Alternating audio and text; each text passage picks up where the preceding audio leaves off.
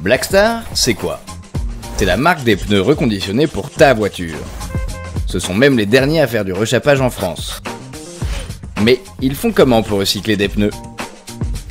C'est simple, chaque jour, ils récupèrent des anciens pneus, puis leur donnent une nouvelle vie. Rapage, habillage, vulcanisation et contrôle final. Tu as un expert qui gère chacune des étapes avec des années de métier derrière lui.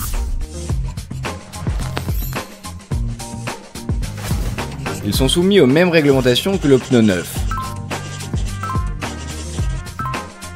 Et pour une qualité et une sécurité garanties.